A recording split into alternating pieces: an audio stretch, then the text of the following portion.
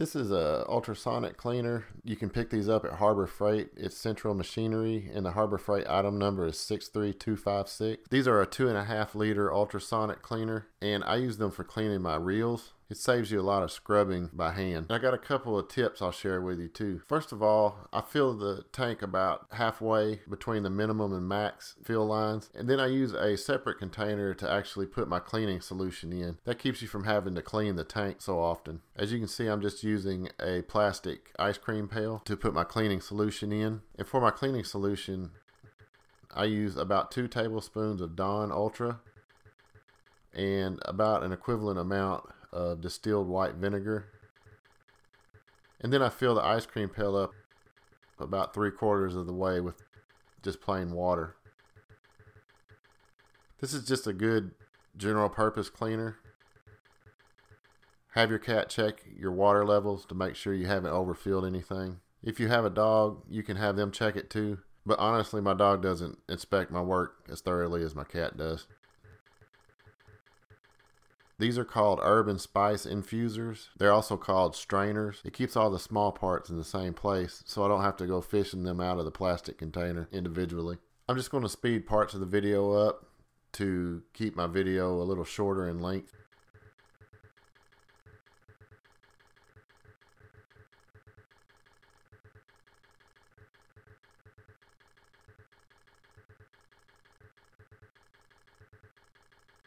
So once I have all my small parts in, I just put the infuser inside the cleaning solution.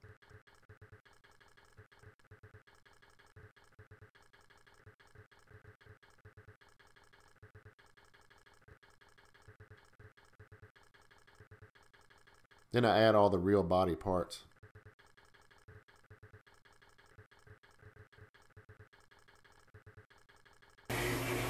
Always set the timer for the maximum length of time.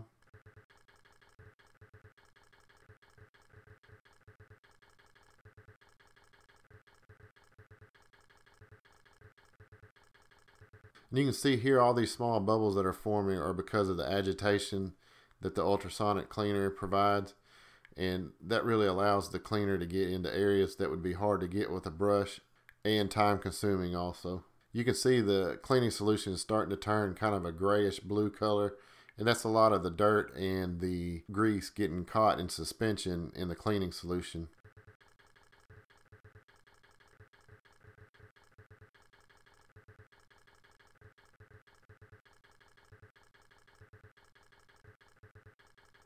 So once it's done its cleaning cycle, I'll go ahead and rinse everything out real thoroughly with clean water. And then I put everything back into the parts cleaner and let it run a cleaning cycle with fresh water to neutralize the vinegar.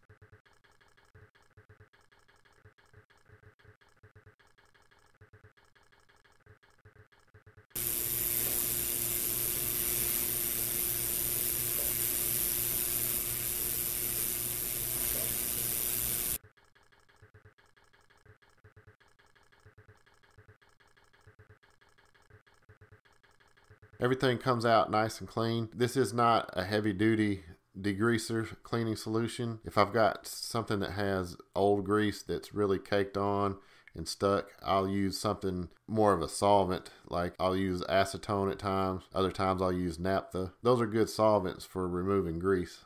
And I will put those in the parts cleaner, but I do not turn the heater on when I'm doing that because those are flammable. But when I run the solution I mix myself, I always use the heater because it seems to clean a little more thoroughly with heat. And the little reel I'm cleaning up's a real inexpensive one, I'm sure, when it was new. It's a Shakespeare, but it's actually made pretty well. It's really not too bad. I've got to do a little work to it. I've already replaced a spring that did the bail open and close function. It was broke, and I'm sure that's why the people got rid of it. Also, the line roller has a groove cut into it, and the line roller is made out of brass, so it's really too soft. So what I'm going to do is machine one up out of some stainless steel rod and put that in there in its place. And on the bearings, after they've run through a cleaning cycle, I'll go ahead and just drop them in acetone and I run those through the parts cleaner because you want to make sure to get all the old grease out of the bearings. Also had to use naphtha and a toothbrush on the pinion gear because it didn't come completely clean. So that's all I've got guys. I just wanted to show you all these parts cleaners. I think they do a good job and if you're interested in one of these parts cleaner, the tips about using a separate container to actually do the cleaning in and using the little infuser to put small parts in will be useful to you. Take care and tight lines.